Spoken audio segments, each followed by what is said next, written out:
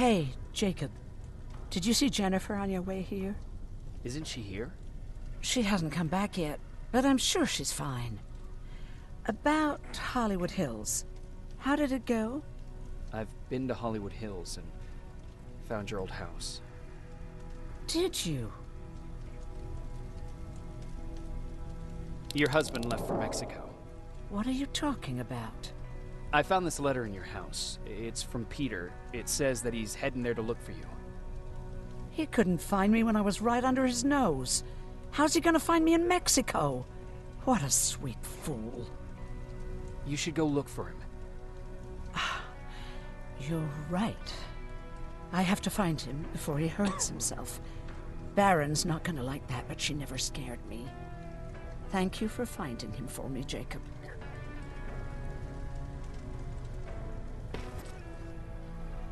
Huh, you're back. How was Hollywood Hills? Crawling with Terminators. And what about Mac? How's he? Is he compliant? Fine, but he needs Skynet security codes if we want him to reprogram that plasma rifle. Fair enough. Talk to Alvin about that. Okay, I will. Did Mac say anything else?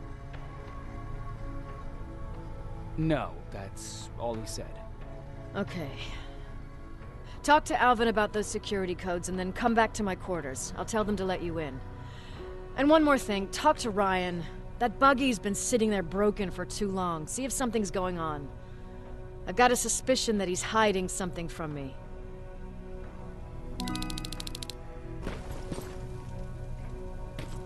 Alvin! Huh? Uh, what? I'm actually jealous of Mac. He's out there alone. No one's bothering him. If I had those working conditions, I would be just as successful as him. He told me that I'll need some sort of a device to download Skynet security codes from an HK. Do you have it? Yes, about that. Um, do you remember that day in downtown? I do. It was very traumatic. And because of that, I may have forgotten to bring back some things. Including that device. And the quantum battery which powers it. You won't be able to use it without it. So I guess I'm off downtown. Yes, you do that.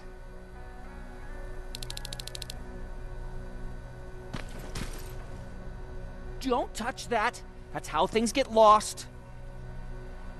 Don't touch, don't touch that! That's how things get lost!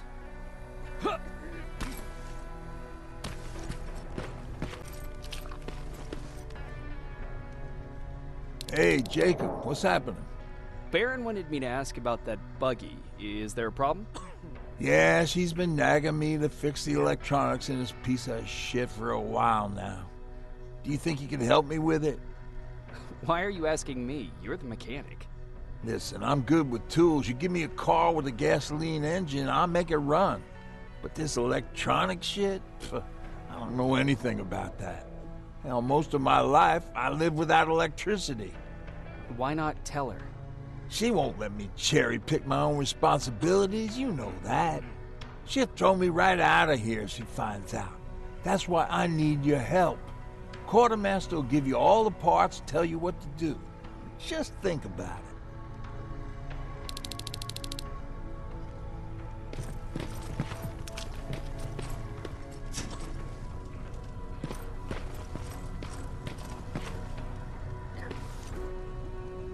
Need anything?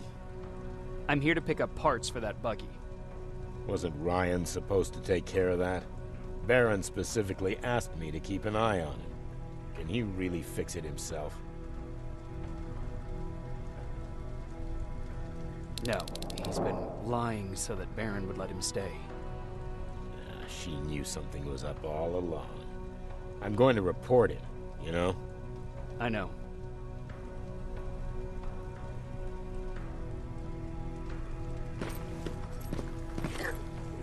The fuck, Rivers? What you think would happen, huh? Baron's kicking me out. That what you wanted? I'm a dead man.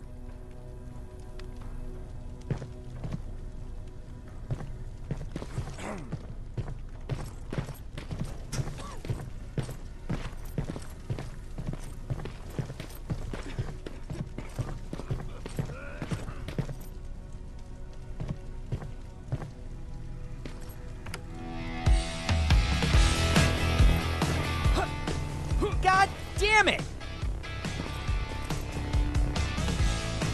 I thought I told you. I can't work with so much noise. I need absolute silence, so please stop that.